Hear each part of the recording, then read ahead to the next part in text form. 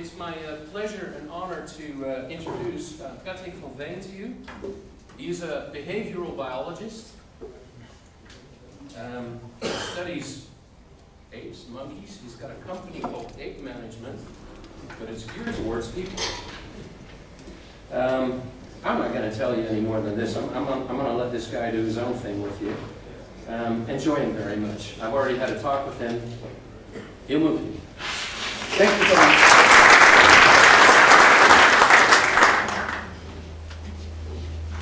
Thank you, Thomas, for giving me also some perspective this morning on uh, project management.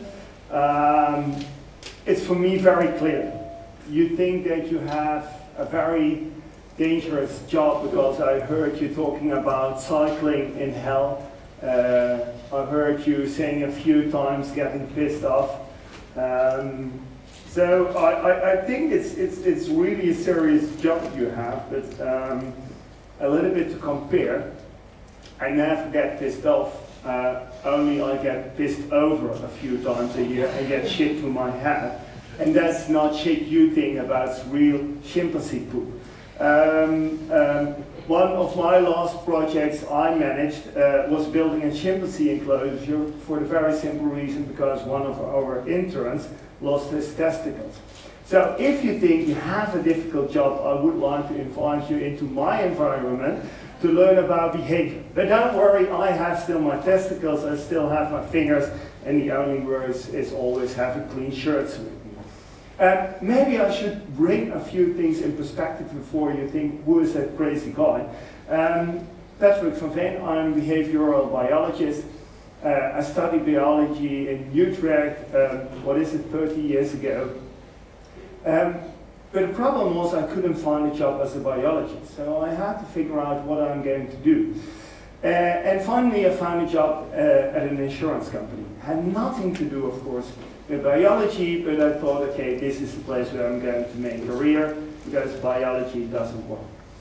And it was a very challenging period, because it was a period of a lot of change. Uh, merging of the company, uh, uh, changes in law, uh, but also the IT, which was changing. If I now uh, teach uh, at a university and I have a group of students in front of me, uh, they are slightly younger as this group, but if I talk to students about a period we didn't have internet, we didn't have email, you see students looking at you as, as if you are a fossil or a dinosaur.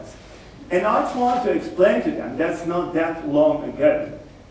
But for me, the interesting thing was all these changes did something with the behavior of my colleagues. Of course, also with my behavior, but I didn't see it. So there was a moment I thought, okay, what did I study? Um, what I'm educated for? And that's observing. That was the reason I bought a small notebook like this one and started to take notes of the behavior of my colleagues. And it was very interesting to see what people did in a changing world.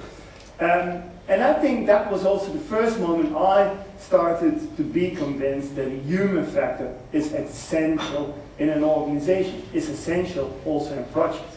Um, I got a new manager, and, and one day he asked me, okay, what are you always doing with a notebook? I explained to him, and that was the end of my career in the insurance company.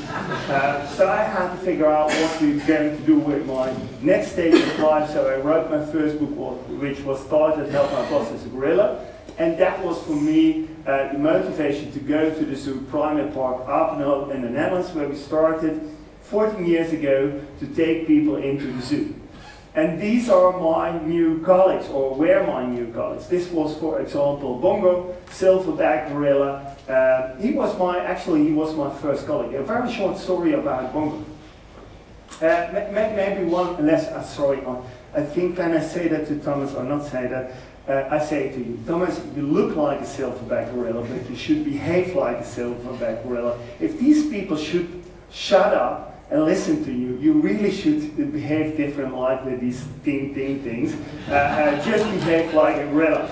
Uh, and one of the issues is uh, uh, that, that, that Bongo, well, I, I, had the idea about leadership trainings in the zoo, and that came into a newspaper, and we got our first customer. And this first customer, that was uh, 11 army officers. And one of them uh, uh, was working on leadership uh, uh, training, and he had planned this training in the zoo with us, but he hadn't told his 10 colleagues what they were going to do. So in the morning, a small green minivan arrived at the zoo entrance, and uh, uh, one person was very enthusiastic, but 10 people said, this is not what we are going to do. We are not going into the zoo to learn about leadership. And we started to discuss. And then we have in the Netherlands a very magical word. If you have a discussion, you're not going to solve, you always can use that word, and it's very simple, it's coffee. And I said to them, okay, let us stop this discussion. Let us first have a cup of coffee, and then we continue. So that's what we did. And we went into the zoo. We have a terrace that was looking over the gorilla island, 9 o'clock in the morning, and I gave these officers a cup of coffee. And what you don't need to learn to officers how they should stand powerful. So what happened, these 11 officers stood like that with a mug of coffee, staring over the island, lined up, not communicating with each other, and just staring over the island. And that moment, Bongo showed up. And Bongo saw these 11 men standing there, staring over his island, and he got crazy, he got nuts. So he said, this is my island, this is my area. He started to throw sticks, he started to throw stones, and these 11 officers said, exactly, this is leadership. This is what we want to learn about. And we were completely convinced that this was the perfect training for them. Uh, we had to manage a little bit expectations that day because that's not all about leadership. So that's how he helped us. I will not introduce all my colleagues. This is only Jill. Jill is interesting because uh, Jill is a bonobo female. Who of you knows anything about bonobos? What do you know? Yeah, it's a short uh, book uh, where bonobos are uh, in the, the role as nice, social, and talkable. Yeah, in a book where, where bonobos are nice, social, talkable. You mean that they solve everything with sex? Because that's their social behavior. Oh, no, no, no. that's actually what I do. Yeah, it's written for children. Yeah, we, we avoid sex work with children, but actually that's, that's what they do. It's really funny because I, I spend a lot of hours in the zoo, and it's really funny when you observe parents coming with their children in the morning at 10 o'clock, and one of the first apes they see in Admiral are the bonobos. And, and then the bonobos get outside at 10 o'clock, they get excited. So the first thing they have is a quickie. You need to have sex with everybody. And then you see parents looking at them and say, okay, we go to the gorillas. and you're still staring and showing what's going on. And it's really funny. If, if you, for example, I, I had the opportunity to observe, I think it's already six years ago, the merging of three bonobo groups. And it's really funny to see how that happens. At the morning at 9 o'clock, the sliding doors opens, the three groups are mixed, are merged, and that is just four hours, one orgy. And after four hours, the merging is finished. No problems anymore. That's perfect in the organization. But it's really interesting how bonobos Just yeah, then you have, again, hashtag me too or something I, I want to. Yeah, yeah, yeah, I, I don't understand why people complain why they are screwed by the bus. Uh, uh, for bonobos, that would be very simple. Maybe there is one difference between bonobos and most buses. Because in bonobo groups, and that's also very essential, the females are the So if they screw up, maybe you think, well, don't worry about it. But, but it's really fun to see in bonobo groups, the power is with the females. And it's not because the females are the strongest, because Jill is at this moment 47. She just got a half year ago, uh, her, I think, sixth or seventh baby. Um, but the power in the females is because they connect to each other, they bond to each other. And in this coalition building, they are always stronger as males. So the males are beaten up once a day, so they understand immediately what the position is. Uh, uh, but, but that's, that's, I think, a very crucial thing. Uh, how they really bond and bonding makes you the strongest. There is one other thing, maybe interesting about bonobos. That's in bonobos they have what we call fission fusion groups. That means that groups come together, they merge, they have the rituals. Rituals are sex related in bonobos. And then it is possible that a few weeks later the group splits. Then they meet other groups, they merge again and split. So they are very flexible social structures. And it's very interesting. We have more species like that. And bonobos do that with sex, other primates do that in different ways. But they have always rituals to get to quick bonding. And I think if you listen to the lecture, of course you listen to the lecture of Thomas, but that's exactly what he is telling also about. Sitting together, share a few important questions. And to be very honest, I don't think it's interesting what questions are. What is important is the ritual. And that is what we really sometimes lack. Later on, I will give you a very interesting example. So I have many more colleagues, I won't mention them all.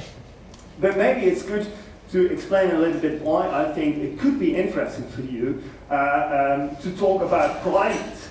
Because there is a management guru, and I think most of you know him, that's Stephen Covey. And what Stephen Covey says, the essential skill for any leader aiming long-term effectiveness is understanding why people do things. It's always important that you understand why are people acting in a certain way. And understanding the behavior is something we do not want to do. What we want to do is act. Act immediately. We see something happening and we want to influence the behavior of people. And what Covey says, before you start to influence, before you start to act, just lean back a little bit and try to understand what they are doing and why they are doing that. So if people walk to the left side and you want to motivate them to walk to the right side, before you start to tell them walk to the right side, start to understand why they want to walk to the left side. It's something very simple but also due to time pressure, something I heard already, this is a very complicated thing. And what I want to do today is to show you a little bit, to learn you, teach you a little bit about social behavior in humans. And I want to do that based on primate behavior. Why primate behaviors? Primates are social animals, just like we humans are. We always influence each other. We heard it already this morning also. Now, I can take a decision where to hold my keynote today. If I do that in this position, it will get uncomfortable for one of us. And if you have looked closely, you saw already that I had influence on somebody's behavior. I won't stay there, so I keep at least a distance of one arm. So with my behavior, how I walk around, how I dress up, I have influence on other one's behaviors. Exactly the same in chimpanzees or gorillas or bonobos. Um, we have a long childhood, exactly like in primates. But maybe one of the most important similarities is that we can recognize ourselves in a mirror. And if you put a young chimpanzee boy, Dio, one and a half years old, he doesn't understand that's me. He kisses, he, he, he, he tries to, to invite to play, but his mother, lady, she understands immediately, okay, that's me. Just look how I look from down there. Uh, and that can be very challenging for a chimpanzee to look at. But it, she knows immediately what a mirror is. And recognize yourself in a mirror. That's something a few primates can do. Uh, uh, this is, uh, chimpanzees are capable to recognize themselves, bonobos, orangutans, but also dolphins and elephants can recognize themselves. And that's where all the problems start. Because if you can recognize yourself in a mirror, you can put yourself in the perspective of others. And that's where all the lying and manipulation starts. Sorry? Yeah. Yeah, if you can identify yourself, that's the problem. Because if you can put yourself in the perspective of the other, you can look at yourself and think, okay, how are others going to react? And for example, a chimpanzee who recognizes himself in a mirror is a very dangerous animal because a chimpanzee can be very friendly. He starts to groom himself. Says, come a little bit more near to me. And if you're on one arm length, they grab your hands, bite in your fingers, and tell you who the boss is. My professor always said, if you come into a zoo and you want to recognize who the keeper of the chimps is, you only have to watch the fingers. If they miss fingers, they work with the chimpanzees. And unfortunately, we have in Europe, every year two or three of these incidents where keepers lose their fingers. And these are your colleagues. These are the people in your project teams. Uh, they lie, they manipulate, they intimidate, they never give honest feedback. And, and then always people say to me, oh no, I have so kind and gentle colleagues. And that's probably the first lie. Humans are not honest. And typically is, I, one of the research projects I do is bullying, studying bullying behavior in children. And it's funny to sit in school class because you sit in school class, the kids entering in the morning, and I have seen already the teacher, and she really looks ugly that day. I, I, I can't imagine why she should buy a dress like that. It doesn't fit her. It's, she really looks ugly. But I and tell her, and I say, oh, you look nice, so my first lie. And, and, and then the kids enter. And there was always one kid in the classroom that looks to the teacher, and you see him thinking, and he says, you look very ugly today. And what happens? These kids, we are going to train into a training course, social behaviorship. And what we teach these kids, not me, but the school is going to teach these kids how to lie and manipulate. So if you expect honest feedback in your organization, forget it. People are not trained to do it. We teach people 40 years to lobby, so never expect any honest feedback. I absolutely agree to what Thomas said. Don't trust service. The reason is people are not trained to answer service in an honest way. They are always politically in their behavior. And that's why human behavior is so complicated. So I hope you are not going to run away and think this is going to get dangerous. Yes? Um, Mr. Swart mentioned the the emotional side. Yeah, Is that honesty? not always. Yeah, yeah, the emotional side can also be manipulation. Yes, sometimes people break. Yeah, The the crying, yeah, yeah. I know people who cry just to manipulate. But what I always also see is the opposite. What many people do is manipulate and lie their intention. So what they are doing is keeping emotions back. And that's also a form of manipulation. I think even that's a more dangerous one. I have people, people who you look at and go, ah! And pure manipulation, forget about it. But, but you feel it, you sense it. But the most dangerous thing is that people try to hide their weakness because in our culture, we are not open for weakness. You are not allowed to say, no, I, I think this is too heavy for me. I'm not capable to do it. Or I have personal problems at home with my kids. I'm sorry, I, I, I'm coming to work, but actually emotional, I can't deal with it. Nobody is saying that. No, happy. We are allowed to go to work today. So it's, it's on both sides. So be aware of it. Um, what I want to do is to take you into the examples of a few social structures. And I have to warn you, there's a big difference between primates and humans. And one of the biggest differences is that primates live 24 hours in the same social structure. We humans, we sometimes change from some social structure.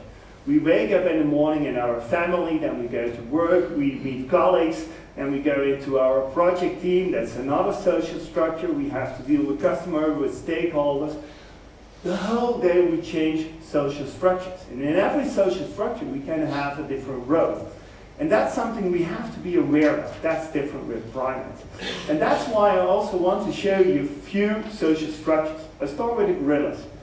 This was, was Bongo. Silverback gorilla slamming on his breast and telling the world, I'm the big leader of the group. No discussion about behavior. And there is only one adult male in the group, and he decides everything until the last detail. Every day he shows up, slams himself up uh, on the breast, and if somebody doesn't listen, you beat them up. Very simply, no discussion. And this is a very comfortable world.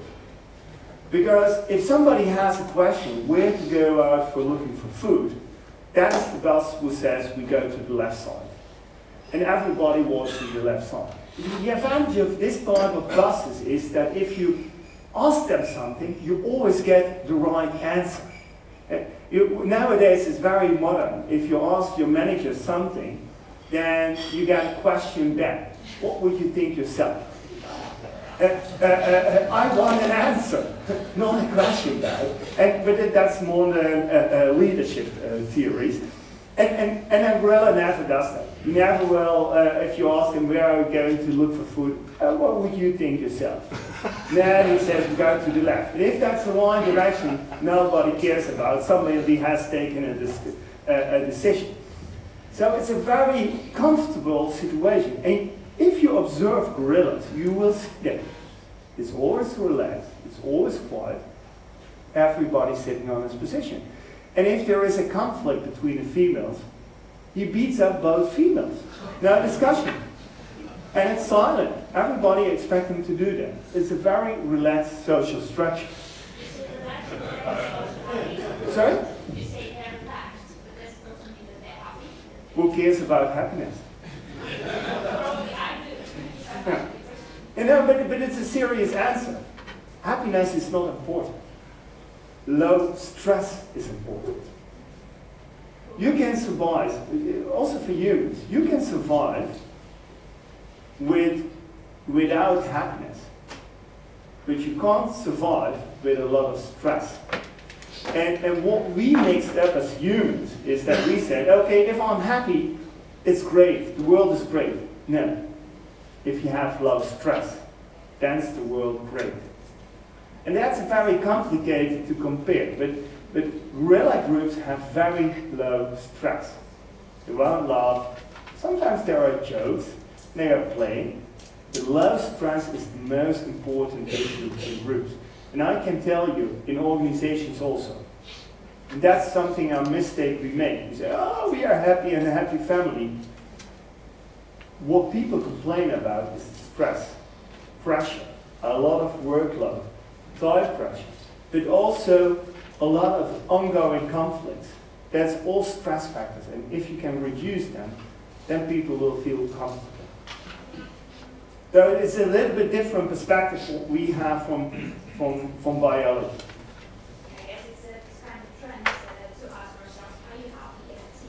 I Yeah, yeah, no, it's, it's, it's indeed, uh, I don't know if everybody can hear it, but, but what you say is, it's a very, it's really a trend. Everybody should be happy, and that's what you ask people, are you feeling happy?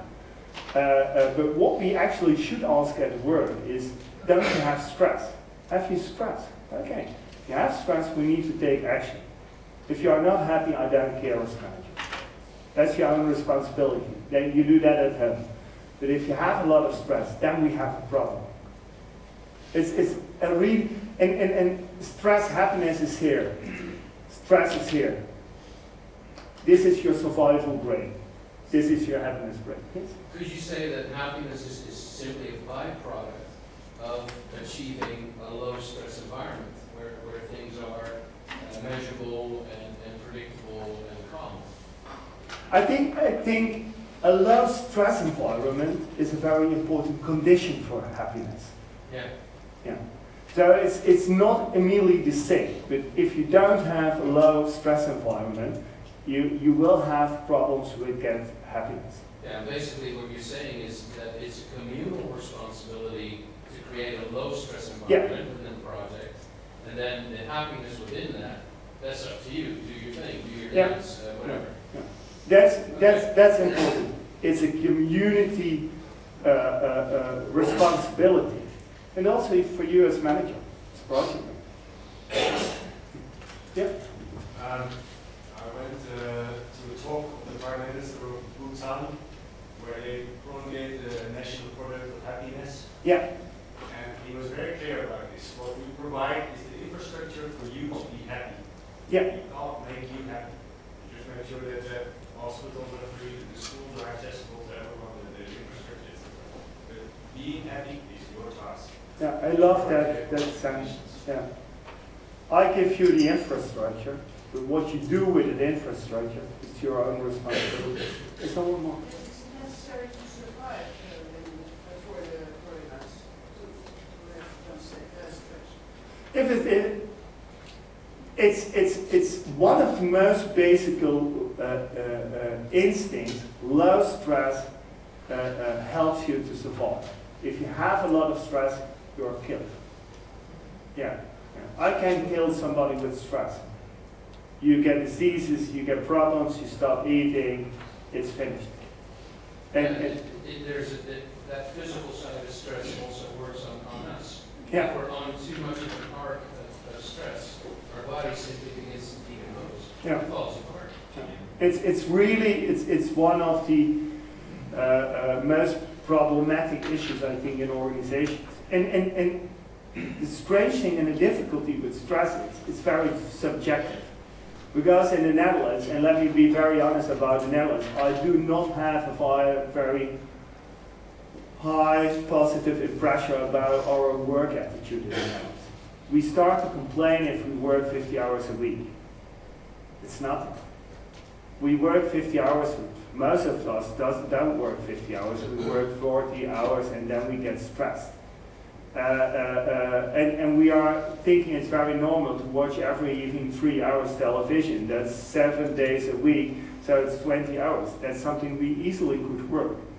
In other countries, they don't understand our behavior.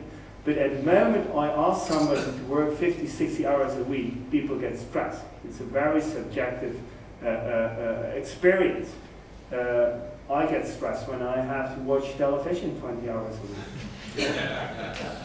and, and more and more stress. Yeah. How do the gorillas deal with the individual uh, that's stressed? Yeah, yeah, individual that is stress. That's, it's, it's, it's, it's, a group is very careful about it. Because individuals with stress is causing stress in the whole group. The only difference with a gorilla group and a human group is a human doesn't care. Because it's five o'clock, I go home, and I, I, I don't see my stressful colleague anymore. A gorilla, which has a very stressful colleague, does see that colleague 24 hours. So you have to deal with it. And, and that's with all problematic behavior. You always have to deal with that. And, and that's the challenge, of course, also for gorillas and, and, and, and or for humans, that we can change. You observed a lot of, you observed a lot of monkeys. Have you ever seen one with good? Yeah, Can you repeat the question? yeah. The question is if I ever have seen a, a, a, a primate, a monkey with a burnout. Yes. But actually, I have seen it only in zoos. And, and the reason for that is because we conditioned their environment, and sometimes we did environmental uh, things which help the burnout. I, I will give you one example. One of the most dubious things we do in organizations, we have architects building our office spaces. That's stupid because they don't understand anything about human behavior. Okay, I, I know there are some who understand. I know people who get stressed because they have an open office space. Uh, I know people uh, uh, uh, uh, who get stressed because they have to run for the, their, their workspace in the morning because there is only limited space. Uh, I never would do that with primates because we learned already in the 90s that the environment we construct has a huge influence on the well-being of these animals. So welfare is extremely important to me because if I don't have good welfare conditions for a primate, then I have a very extensive veterinarian bill. So yes, I know burnouts based very simply on, on let me give you, my whole lecture is going to rubbish, but don't worry about that. Uh, as as I can talk. If I need to build a good orangutan enclosure, I build islands with huge walls in between. Why orangutans are extremely solitary? They are social animals, but they love to sit sometimes in their own environment without any colleagues around them. So we build always enclosures where they have the opportunity to sit a few days on their own island.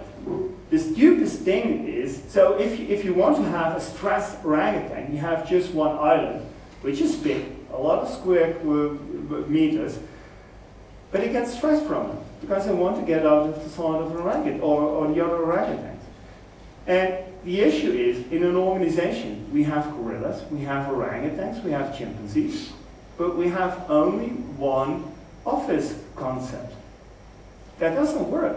It simply doesn't work. Because the orangutan in your team, he cries out, gets stressed, because he just wants his walls around. So, unfortunately, we have that lesson learned, yes. There was one you wanted to comment? And the question is, you said they then deal with it, uh, with Yeah. stressed, individual, just, just curious, how do they deal with it? What do you? Uh, there are a few opportunities. First opportunities, they are going to avoid the individual. And that doesn't include that they are ignoring the individual, but they are going to avoid conflicts. They are going to build a peaceful surroundings around it. Uh, uh, um, they are involving uh, the animal with, with, with social interactions. And, and one of the most relaxing behavior they show is grooming. Uh, in Dutch vlooien. And grooming behavior releases endorphins in the bloodstream. So it's actually really medical relaxing. Uh, so stressed individuals are groomed, and sometimes they are groomed that long that they even uh, uh, get from the world because they have so many endorphins in the bloodstream. Primates don't have fleas in the field. We have a wrong word in, in Dutch for it. Um, so grooming, that's really drinking coffee. I, I, I, I watch a little bit on five minutes, they have time? Ten minutes? Then, oh, that's no problem. Uh, I, I skip a few things because that's not interesting. Then this, this is interesting, the baboons. I like baboons. Uh, and why do I like baboons? Because baboons live in, in, in large groups, and these groups we call harem groups. But you don't see a harem, you see what we call a clan. And a clan is a corporation of 10, 15, 20 uh, uh, harem groups. And the good thing about these harem groups is that you have always adult males. And these adult males, they have feet, they are sometimes four centimeters. They are extremely sharp. And different as a gorilla group, in harem of in baboons group, you don't have a leader. You don't have one adult male who is the boss of the group, or a female. You have a different structure. And there was a Dutch professor, Professor Kortlandt, he studied baboons in the 70s. And he said, in baboon groups, individuals are the leaders because they have an expertise that is useful at a certain moment. And what we see in baboon groups, if there is any danger, the group is attacked, for example, by lions, then the males start to guard because they start to leap, because they have the huge sharp teeth. Four adult males can kill a lion. They are stronger than any other animal on the savannah. But if the group wakes up in the morning, then you will see that all the old females start to guide the group to the next feeding spot. Because females have more expertise about the surrounding. Very simple. Males die around an average age of 15 years. The females get around 25 years. They have 10 years more experience. So leadership is no longer defined as the strongest or the most social, but is just defined as who has the right expertise at the right moment. And that's how baboon groups function. But important in this type of complex structures without one big leader at the top of the group includes that you need to have open communication. And open communication in baboon groups, this is, these are gelada baboons, and, and gelada baboons just show what we call lip flipping. And with this lip flipping behavior, they tell the word, okay, take care, we have a discussion. And the good thing is, these are discussions. They take around five to ten seconds. And after this discussion, they are going to sit down, show each other their back, and they start to groom each other. So what works in this situation is they don't have stress about conflicts because they solve the conflict. They fight, they groom, and the problem is solved. And this complex communication is very important, otherwise you have an issue. You can't survive in this complex structure. What I want to explain a little bit is about the complexity in social structures. And, and in humans we have even more complex structures. But we have also a very important management group who said something about these complex behaviors and the differences in social structures. And that was Charles Darwin. And survival said survival of the fittest.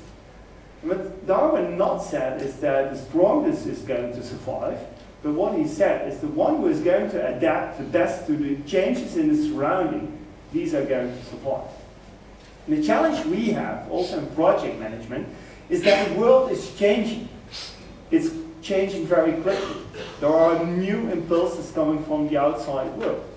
And your outside world is everything outside of your project. And the question is, how are you going to deal with that? And that's not only on real hardware, it's also on software. What is that doing with behavior? And already Darwin said, evolution is not only something that's going on for 10 or 100 or 500 generations. Sometimes evolution on behavior can happen within one generation. And that's a very important issue. How are we going to deal with the challenges in our world? And I want to introduce a few of these challenges to you because I don't think it's interesting for me to explain to you if you should survive like a bonobo or a baboon or a gorilla. But I want to share a few important challenges with you. It just, I, I, I screw up my whole presentation, but this photo is very interesting. Because these are two adult males, and they had just a conflict. And what they did was, after the conflict, chimpanzees always position in a way that they can reach out the hand to the other one. They shake hands, and that's how they solve conflict. They do that always. Within one hour, you always see adult males doing that. This is Socrates and Dongo. They did this after a conflict, and that's funny what happened. Because first they shake hands, walk around the stone, grab each other in the balls, and then they start to groom. And the balls sound a little bit strange probably, but it's their weakest spot. So if you are open to show your weakness and approach each other, then you're really getting together. And then they start. Don't do that at a floor. People will. Hi, we have got that.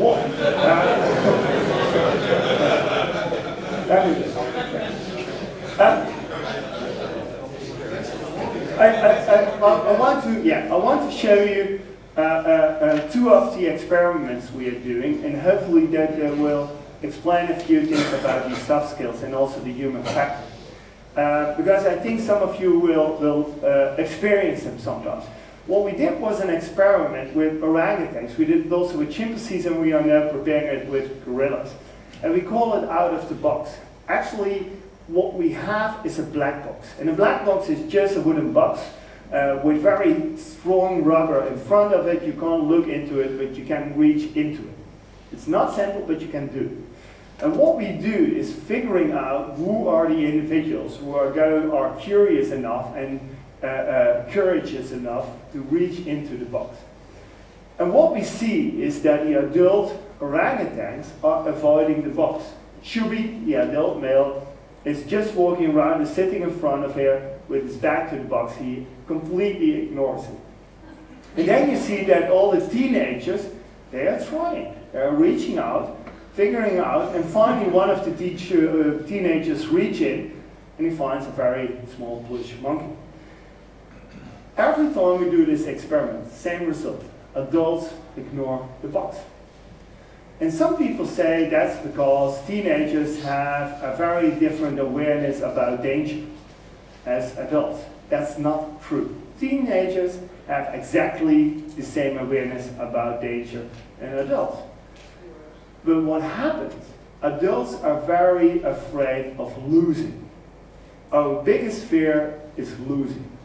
And what can an adult orangutan lose with reaching into the box? He can lose status.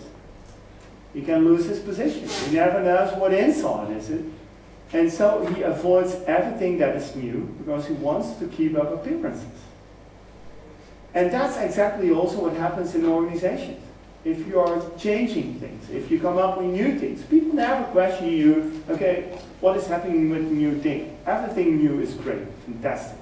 But the first question they will ask you, what is happening with my old privileges? What is happening with my old system? What is happening with my old computer? What is happening with my desk? Where can I leave my files? always danger or fear for losing. And I compare it sometimes with behavior of, of babies. These are Barbary macaques and they have a baby. And that baby they are showing around and showing to everybody. And everybody is saying, you're so important with your baby. But the problem is, if you want to have status with a baby, it can happen that you don't have a baby. Don't worry. You are allowed to kidnap them. You can grab anywhere a baby, even if it's not your own baby, you can carry them around and everybody says, oh, you're so important with your baby. And, and, and this, it looks a little bit like this, is that you see a young female has kidnapped a baby and everybody says, oh, you're so important with your baby. And, and, and the fun with this is that at the moment I studied biology, nobody was writing about this behavior. Nobody, sorry, I was in front of, that was mom who was coming to pull back the baby. Nobody told about this behavior. And then I came back into the zoo after I had worked 10 years for an insurance company. And my colleague said, look, babies, and they are status symbols, and if you have a baby, you're very important. And I thought, I recognize this behavior. That was where I was dealing with every day in this insurance company. People had a baby and said, look at my baby, I'm very important. And, and, and, and sometimes the baby was a staple machine. And, and that was a little bit bigger staple machine as other staple machines, and people uh, did a sticker on and said, uh, don't take it, it's mine.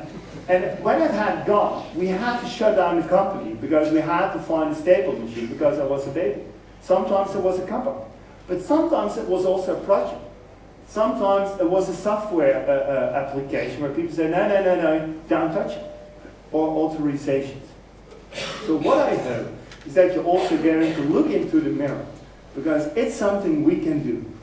And looking in the mirror is very crucial. So I hope I took you a little bit into my world today. And one of the things I sometimes say, our challenges are not systems, are not regulations, are not procedures. Our challenges are human behavior. So I hope when you want to do something with human behavior, you're not going to start procedures, regulations, or systems, but you start to discuss the behavior. I wish you a lot of success today during the summit and a lot of inspiration, of course. Thank you.